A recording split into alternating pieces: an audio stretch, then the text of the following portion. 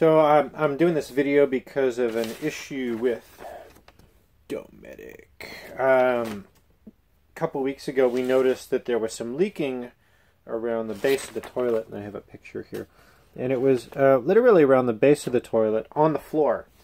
And so um, I said, well, it's got to be, you know, the typical thing that you would think it would be would be the donut down below leaking into the floor and, um, you know, not sealing well to the flange.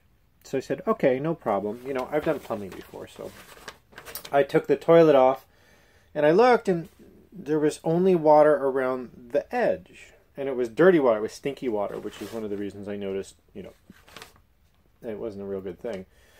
So I proceeded to look on the underside of the toilet. I actually had a video of this, but it, it got deleted off my wife's phone. So I look under the edge of the toilet, like, you know, turn it on its side and look under it. And I noticed that there's like, you know, a drip line running down like the inside of that in like uh, if you, you can kind of look up into there and I kind of noticed a drip on the edge from high up inside so a little bit more investigating and it was going as high as that middle joint there, kind of like where the where the top bowl meets the bottom, the base. And what's in there is the mechanical stuff, like the uh, the flush valve. They call it a ball valve and a ball seal and some other stuff. And the mechanical part of it, where you push the toilet, you push the pedal and the thing opens up.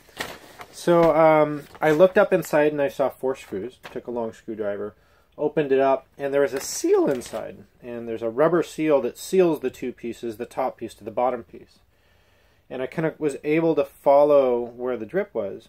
And it ended up that um, it's a faulty design, literally a faulty design.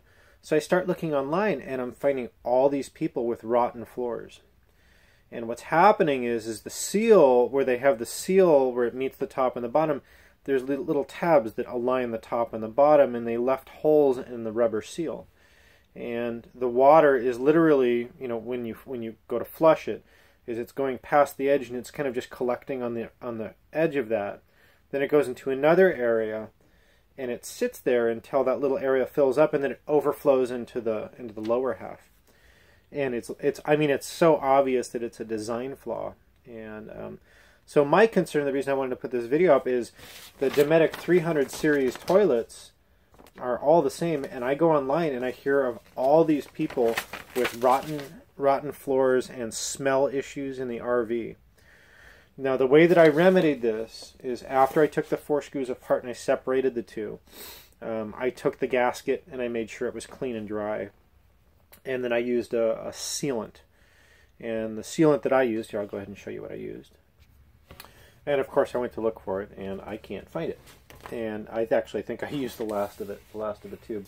But basically, I I would say you could use um, an actual silicone or clear silicone um, would probably be the best because it remains flexible.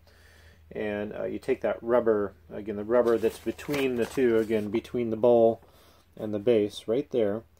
And once you take the four screws out, take it, dry it, clean it, clean that whole area and put that RTV silicone sealant, um, get it into that gasket really good.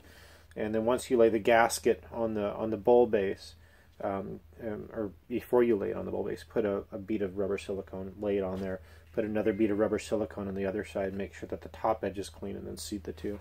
Um, I did that. I have zero leaks, and that seems to solve the issue. But again, this is an issue that Dometic knows about, and it's online, and they I guess don't have a fix because there really isn't a fix because there's no actual seal between where the water is hitting and it's kind of leaching into that area and then leaking and then filling up and overflowing into the inside of the bowl.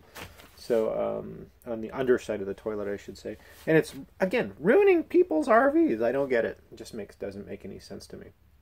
So there you go. Any comments or questions, please feel free to ask. And that's it.